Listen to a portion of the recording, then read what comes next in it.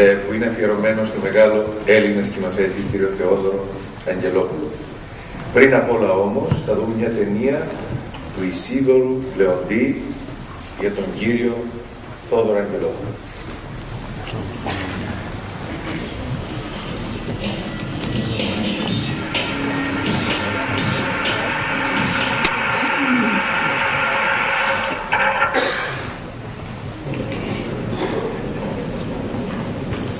You know you're going in for something uh, that's going to be intellectually stimulating and hopefully emotionally and aesthetically uh, will deliver a big punch. He is in his own category.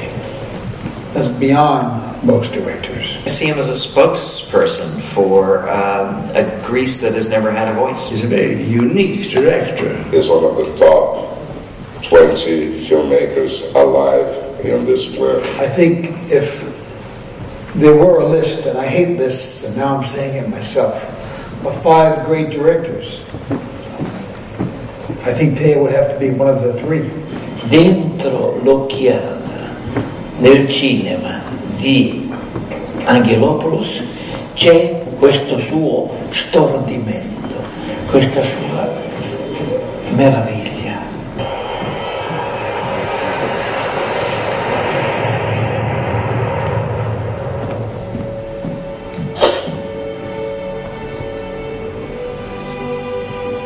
Theo Angelopoulos is a modest filmmaker whose style does not suggest that he has a story of romance to tell. Following his footsteps through his world of film, we observe his poetic genius and cherished images.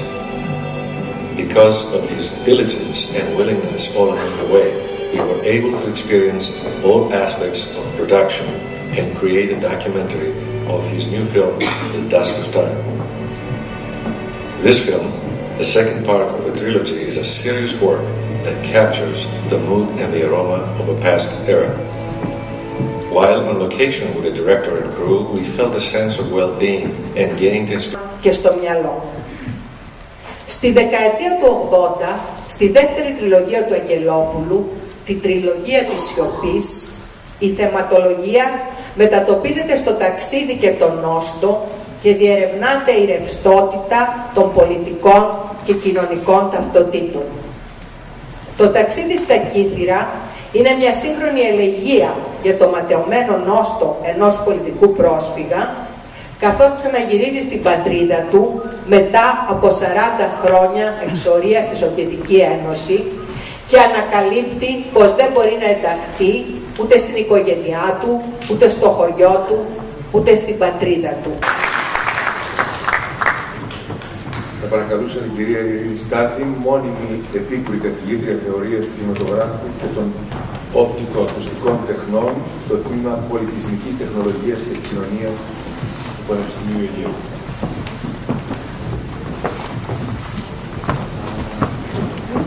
Καλησπέρα.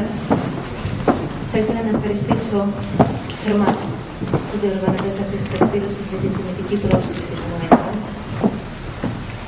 θέλω να ευχαριστήσω και τον Θόδωρο Αγγελόπουλο που ακόμα μου δίνει τη δυνατότητα μέσα από τις ταινίε που να σκέφτομαι να μπορώ να μιλήσω για αυτό. Ωστόσο, όσο πιο πλούσια γίνεται η ψυχή όταν βλέπουμε αυτές τις εικόνες των ταινιών του, τόσο πιο φτωχά γίνονται τα λόγια. Έτσι νομίζω ότι δεν θα έχω κάτι πολύ πλούσιο να πω ή πιο πλούσιο από τις εικόνες που είδαμε αλλά να σας πω μόνο αυτά. Ο Θόδωρος Αγγελόπουλος είναι ένας μοναδικός και μοναχικός δημιουργός του σύγχρονου παγκόσμιου κινηματογράφου. Ενταγμένος στην ομάδα του Περισσιού αρχικά, που υπήρξε ο κύριος πυρήνας αντίδρασης στο παραδοσιακό κινηματογράφο της δεκαετίας του 60, αυτονομήθηκε γρήγορα για να διαγράψει μια λαμπρή πορεία στο κινηματογραφικό στερέωμα, καταλαμβάνοντας μια περίοδο θέση ανάμεσα στους μεγάλους δημιουργούς της έντονης τέχνης. Αυτός ο Έλληνας κινηματογραφιστής, που η ελληνικότητά του πολλές φορές αμφισβητήθηκε, έχει μια βαθιά και μυστηριακή σχέση με την Ελλάδα.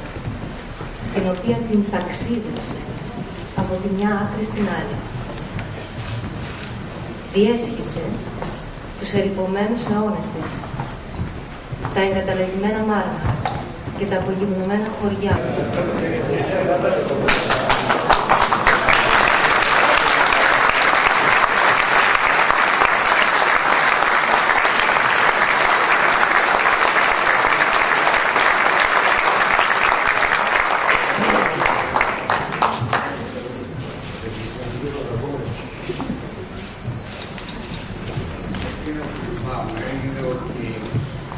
ε, μάκρυνε τόσο πολύ ότι λέμε πως είχε γράψει κάτι πολύ ενδιαφέρον και τελικά δεν μπορεί να το διαβάσει και του μάκρυνε πάρα πολύ η τελετή.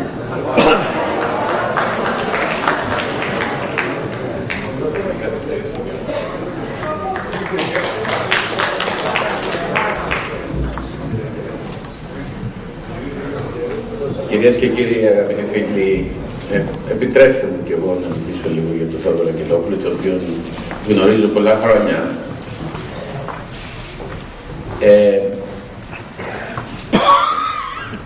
θα πω λίγα λόγια, όχι με την ιδιότητα την οποία γνωρίζετε όλοι σας, είναι εδώ απόψε, αλλά γιατί είμαι και φίλος του τον Θόδωρο, αλλά και για δύο άλλους λόγους οι οποίοι έχουν σημασία για μένα. Το ένα είναι που έπαιξε σε μια ταινία του Θόδωρου Αγγελόπουλου και δεν το ήξερε ούτε ο ίδιος. Του το είπα μετά από 20 χρόνια. Η ταινία αυτή βέβαια ήταν ο Θίασος. Και εγώ απλώς ένας κομπάρσος βέβαια στο Θίασο ήμουνα. Η κυρία Εύα Ταμανίδου είναι εδώ. Δεν το ξέρει και η ίδια. Εγώ το ξέρω μόνο. Δηλαδή και αυτοί που βλέπουν το θείασο και όταν με βλέπουν σε κάποια πλάνα, είναι προφανές ότι δεν αναγνωρίζουν ότι είμαι εγώ. Μόνο εγώ το ξέρω και είναι μια περηφάνεια για μένα, τώρα. Και κάτι άλλο όμως το οποίο είναι συμπτωματικό. Εδώ είπαμε για τον επίλογο. Πριν από τον επίλογο όμως, το οποίο είναι εξαιρετικό πράγματι, δεν είναι περιοδικό, είναι πολιτιστική επιθεώρηση. Πριν το επιλόγου έβγαινε ένα άλλο, αντίστοιχο, το χρονικό. Το χρονικό του έβγαζε το πνευματικό και καλλιτεχνικό κέντρο ώρα στη Ξενοφόντος, όπου το διεύθυνε ο Σαντούρ Μπαχαριάν. Εκεί λοιπόν είχα δουλέψει εγώ στο χρονικό και ήμουνα ο διευθυντής και ο αρχισυντάκτης του χρονικού για δύο χρόνια, το, τρία χρόνια, το 79, το 80, το 81. Μετά πήρα τον κακό δρόμο του γνωρισμού μας. λοιπόν, ούτε το ποιος έγινα. Επιτρέψτε μου, θα ήθελα στην προηγούμενη να μια και έγραψα δύο λόγια, να σας το διαβάσω για τον, την ειδική αυτή βραδιά για το Θόδωρο Μικρόπουλο. Ο Θόδωρος Αγγελόπουλος είναι ένας πολυβραβευμένος σκηνοθέτης, εδώ και στο εξωτερικό. Το βραβείο της εξαίρετης ετήσιας πολιτιστικής έκδοσης επίλογος προστίθεται στις βραβεύσεις και έχει την ιδιαίτερη αξία του για την αναγνώριση της προσφοράς του παγκοσμίως γνωστού Έλληνα σκηνοθέτη στον χώρο της εύλογης τέχνης.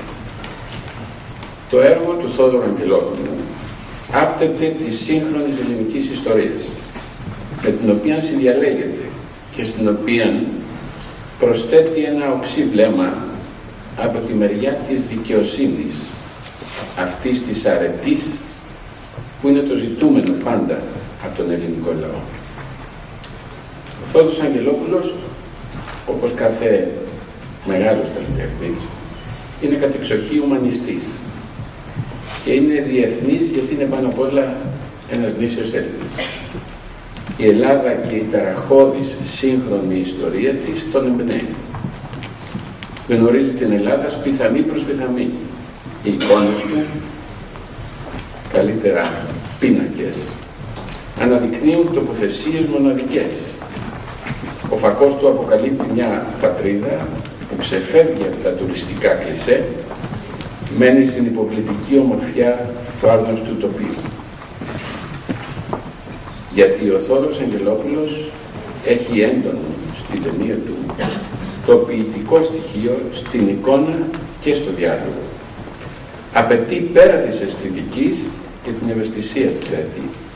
Τον θέλει συμμέτοχο στις συγκινήσεις του κινηματογραφικού του αφηγήματος. Η ιδιαιτερότητά του έγκυται στους ολιγόλογους διαλόγους που όμως λένε πολλά.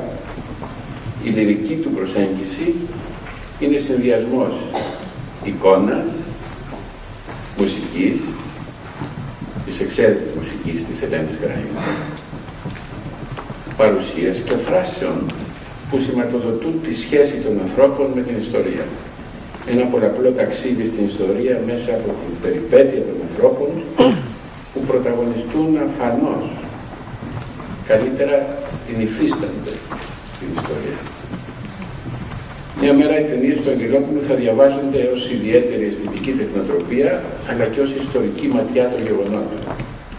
Θα δίνονται εξηγήσεις, θα οδηγούνται σε αναλύσεις για να καταλήγουν στην αλήθεια της τέχνης που ξεπερνά κάθε επιστήμη ή και ακαδημαϊκή εκδοχή. Ο Θόδωρος Αγγελόπουλος δεν καταγράφει απλώς, δεν αναπαριστά τα γεγονότα κινηματογραφικός, θα υπενήσετε για τις επίδρασεις που ασκούν στους κοινούς ανθρώπους. Δηλαδή κάνει τέχνη. Υψηλή τέχνη σε μεγάλα ταμπλό. Με εικαστικό περιεχόμενο που συγκαθιλώνει και νόημα που συγκινεί και δια της συγκινήσεως προβληματίζει. Με τις ταινίες του Αγγελόπουλου δεν τελειώνεις. Έχεις πάντα και άλλα να πεις αυτό το ατέρμονο τις κάνει μεγάλη τέχνη. Τους δίνει συνέχεια και ζωή στον χρόνο. Ο Αγγελόπουλος έγινε ήδη εν ζωή κλασικός. Γι' αυτό αξίζει κάθε βραβείο, κάθε έπαινο και περισσότερο την ομογοσύνη μας για ό,τι προσέφερε και σίγουρα για ό,τι είναι έτοιμος να προσφέρει ακόμα σήμερα, αύριο και στο μέλλον.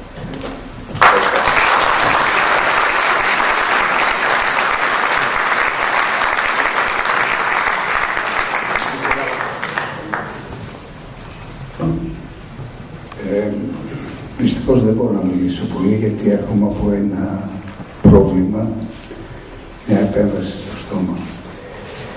Ε, θα ήθελα να ευχαριστήσω καταρχήν τον επίλογο για αυτή την τιμητική εκδήλωση και βέβαια όλους εσάς που είστε παρόντες εδώ και ακόμα τους ομιλητές ε, δεν ξέρω αν θα μπορούσα να πω τίποτα άλλο.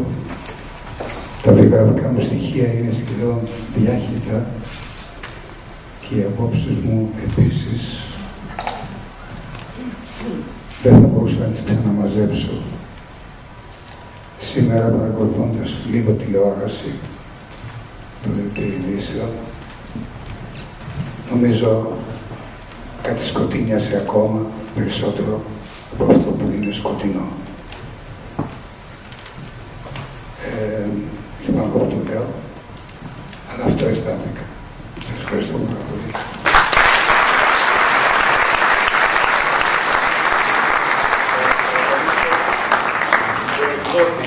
του επιλόγου, κ. Σταύρο Καλανάκη, να απονείμει τη τιμητική πλακέτα εκ μέρους του περιοδικού, εκ μέρους του τόμου τον κύριο Αγγελόπουλο.